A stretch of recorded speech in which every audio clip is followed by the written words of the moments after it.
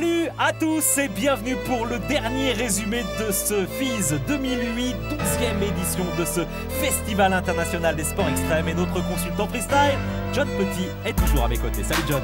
Bonjour à tout le monde. Allez, on va se régaler aujourd'hui avec une discipline que nous adorons, le dirt. Ah ouais, ouais, effectivement. Une discipline sale, comme son nom l'indique. Sale, effectivement, pleine de poussière, de, te- de terre, comme vous pouvez le voir. Sauf vos yeux. Hey, salut, je m'appelle Ricardo Laguna, nous sommes au FIS, restez avec nous.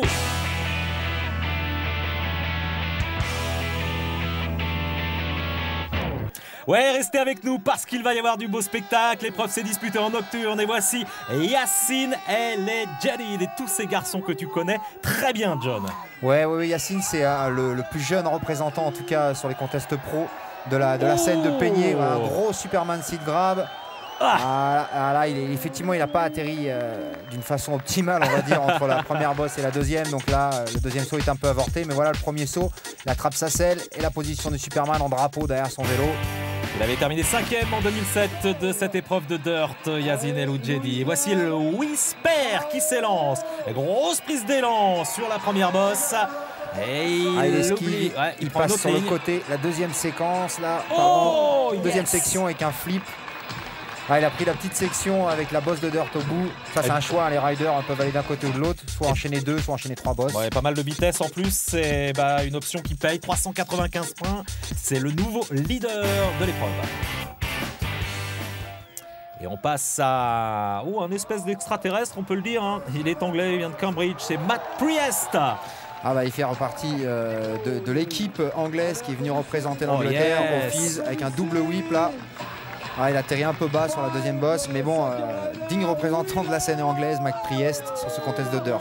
Ouais, mais là, il va lui en manquer sur ce run. euh, à la preuve, 316 points seulement au compteur, malgré cette belle réalisation.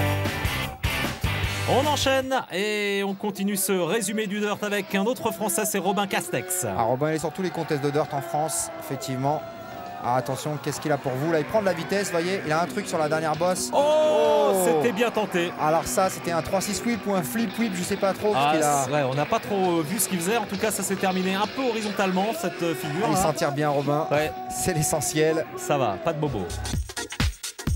284 points seulement la note à battre. Eh bien, c'est toujours 395 points et c'est toujours Louis Père le leader. Allez, l'Australien de service, on le connaît bien, celui-ci vient de Brisbane, c'est Colin McKay, il a 27 ans, il habite Greenville, aux États-Unis. Ah oui, c'est un sérieux client. Hein. 3-6 sur la première, whip sur la 2. Vous voyez, il a bien enchaîné. Et non, le même problème que les autres, hein. effectivement, pour l'Australien. Mais je pense qu'il a, il a fait un gros, gros, gros contest hein, ce week-end du FIS, là, puisqu'il était sur le contest de street aussi. Alors voilà fait. le whip sur la Fi- deuxième bosse. Figure de street d'ailleurs, ce qu'il fait à la fin. hein. Effectivement, Colin un petit McKay. sur la bosse. 321 points au compteur pour l'Australien de service. Et on passe de l'Australie à l'Autriche avec Tony Wassel. Alors qu'est-ce qu'il va nous faire, l'Autrichien? Oh, prend une grosse prise d'élan en tout cas, il est parti au prise d'élan qui ressemble un peu à au slope style en VTT, hein, vous l'aurez remarqué, avec ce gap. C'est pour avoir un maximum de vitesse. Là, il enchaîne bien. Et il y a une tentative de... Ah, Ouh, 7 ouh, ouh. non. Une tentative de 7-20, deux tours en l'air. Ah, c'est vraiment euh, Ça l'a très très cool. hein. Il a pas de casque, c'est vraiment à la cool.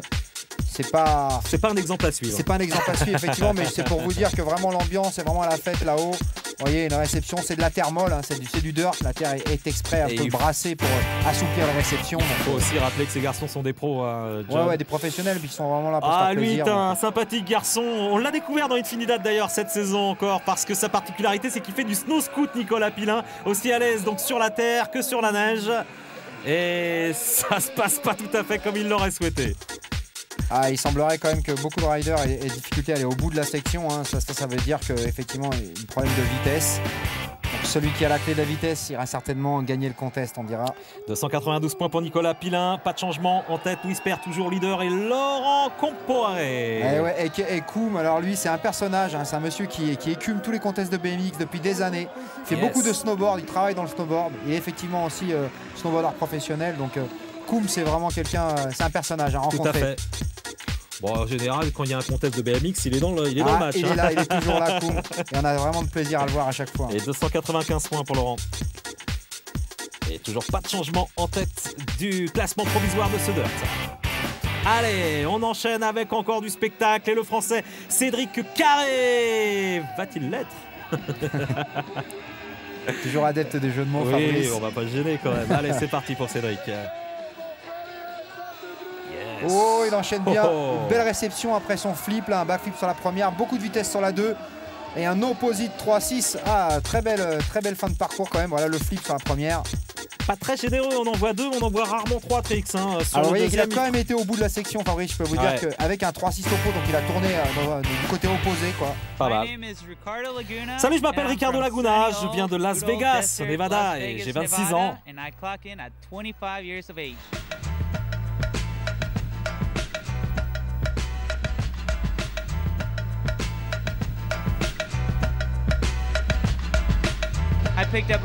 Ah, j'ai ramassé un vélo Après avoir vu des gamins rider dans le désert de Las Vegas, sans jamais penser, mais en rêvant, sans relâcher un jour devenir pro.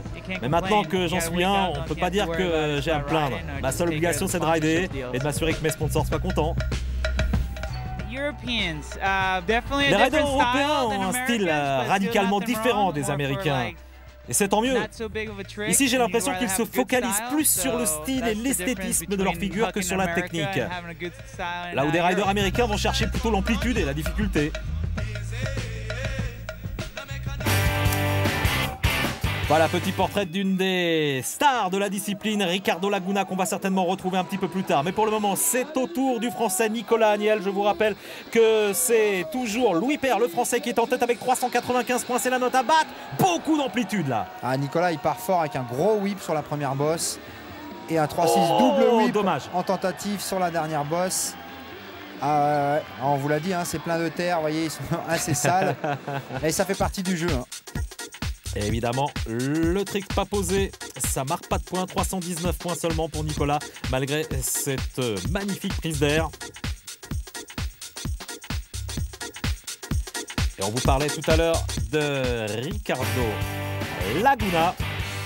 Regardez de quoi ce garçon est capable. Voici l'American Service sur cette aire de dirt du fils 2008. Attention, parti pour le garçon, beaucoup de vitesse. Un turn down sur la première. Oh, Oh, ça joli passe Flip whip et un 3-6 Oh, whip. eh ben, je disais qu'ils n'en avaient pas fait trois. Lui, eh ben, est allé jusqu'au bout. Bien joué, Ricardo. Ah puis bien en plus avec les belles figures, là, surtout sur la deuxième bosse, un très très très dur à replaquer et à, à enchaîner parce qu'il faut quand même qu'il ait cette vitesse après. Là, on le constate, voilà son deuxième saut, le flip whip en milieu de section donc sur la deuxième bosse. Et il enchaîne juste derrière avec un 3-6 whip. Ah il a vraiment été au bout, hein, on, peut, on peut vraiment l'applaudir Ricardo sur ce coup-là. Et a priori, il sera juste derrière euh, Louis Père. Et voici maintenant euh, le français Laurent Monnier pour la suite du résumé de cette épreuve de dirt sur le FIS 2008, toujours à Montpellier, en nocturne, avec beaucoup de monde pour applaudir les riders. Oui, Premier saut qui passe bien en turn down. Une tentative de no-hand sur la 2 avortée. Et là un 7-20. ah dommage. Oh dommage, il Dommage. atterrit quand même, il s'en sort bien. Ah, c'était bien lancé, mais forcément, il faut le plaquer. hein. Pour prendre des points, il faut le plaquer. Dommage pour Laurent.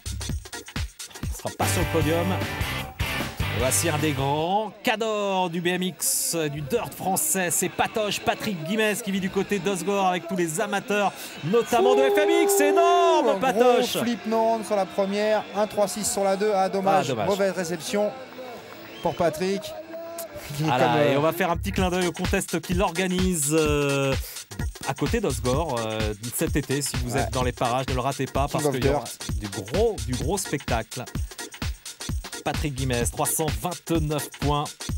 Capable de faire beaucoup mieux. hein. C'est vraiment un des cadors de la discipline patoche.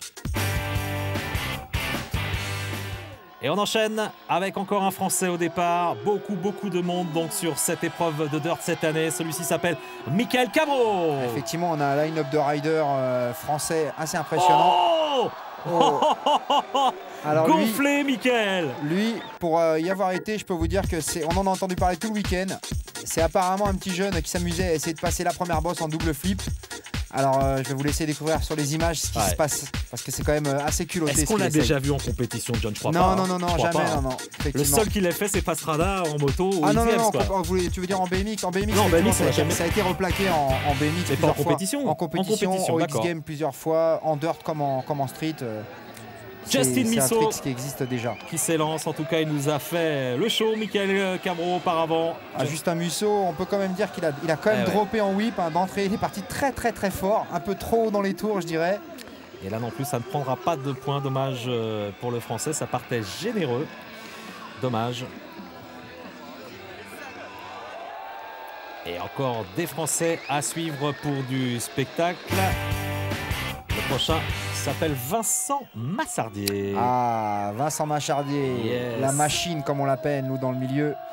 C'est un gars, ah, j'allais vous le dire, c'est un psycho du front flip Vincent. Il a fait front sur la première, non sur la 2 et 3-6 ah sur bah la ça, c'est du beau. Il y a des points là. Vincent il vient de, Béziers, il me semble, ou dans les environs de Béziers.